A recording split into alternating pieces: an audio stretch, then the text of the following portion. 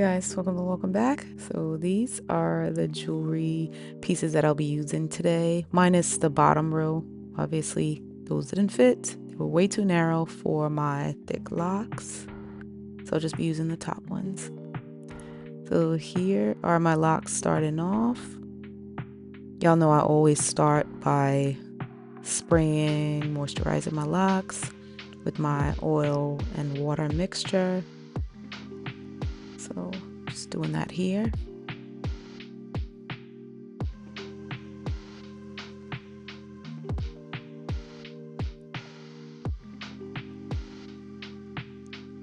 Make sure I get the whole length of my locs and we massage it in just a little bit.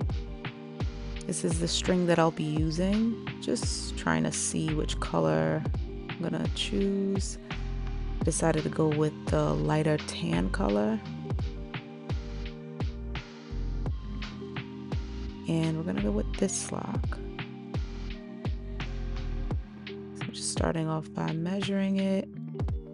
I realize I didn't show y'all how exactly I do that, like how exactly I measure it, but at some point I do when I um, do it to the next loc. But for now, this is what I'm doing.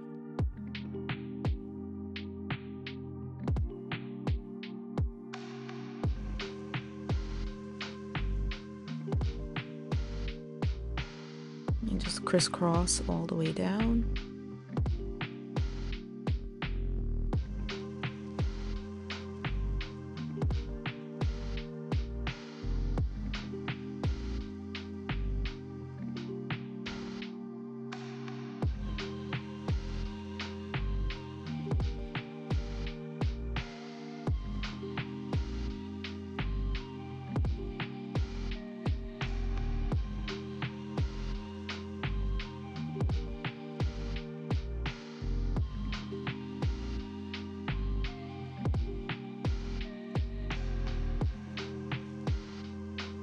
And then tie it off. And then I cut it off camera. Then I'm gonna use this one. I think this one's cute. I like the design. I think we're gonna put that one over here. And basically, I just do this. basically, pick random locs and put whatever jewelry. This one's really cute too. I really like that one. It's like leaves, like a little branch of leaves. As y'all could see, I already put one on um, that I didn't get on camera, but and then my tree of life, put that one on too. Some of these clips are out of place as I was recording and deciding which locs I want to put where. Um, my camera would die or it would overheat either or and then I would have to like take a break and start up again. This is where I realized that this jewel was way too small and it kind of sucked because I really wanted to use that one. But it's all right because I'm gonna use the end piece of it. I'm gonna repurpose it, put it that way. I'm gonna repurpose it and y'all will see how I do that in a later video.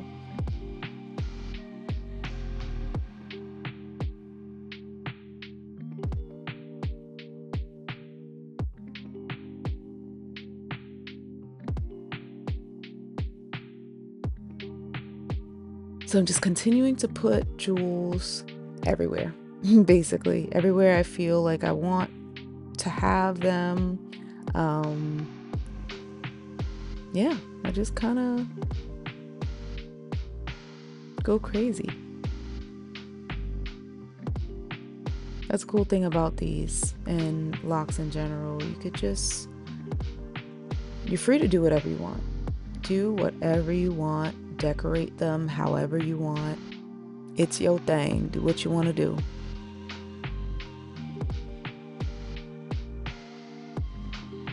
So this one, I decided to put another um, string on, and here's where I show you guys how I measure it. So I kind of just align it, that first length, double it, and then you're gonna triple it. And I I realized that that was, I guess, the formula to getting just the right length um, for the crisscross, tripling it. So that's my advice.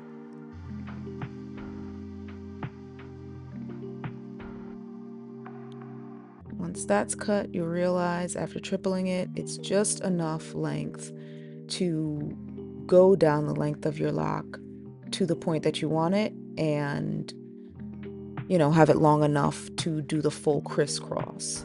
So.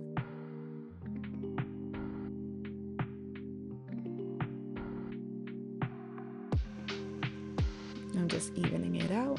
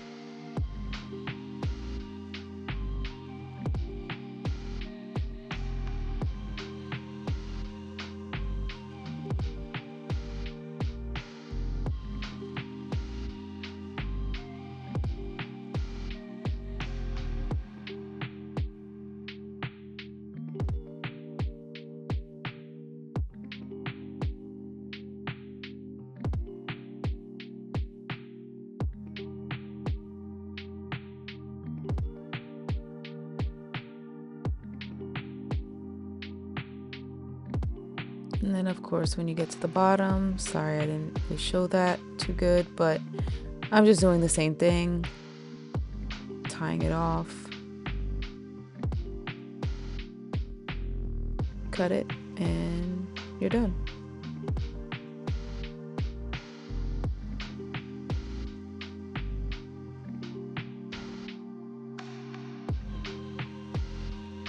We're just continuing to put random pieces wherever we see fit. You can always move them around, take some out, add some in.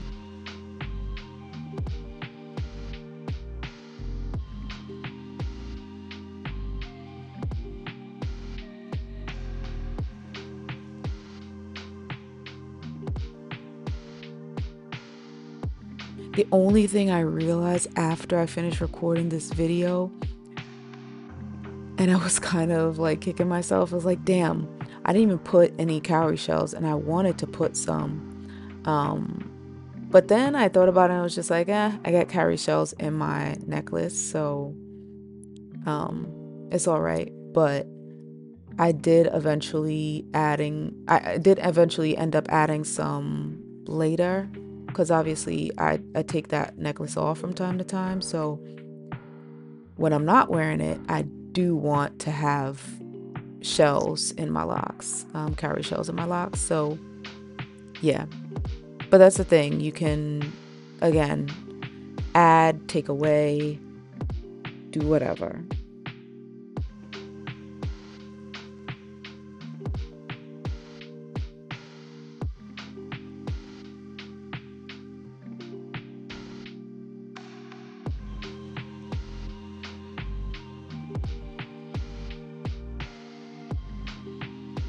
This video, y'all, like in real time, it was like an hour long.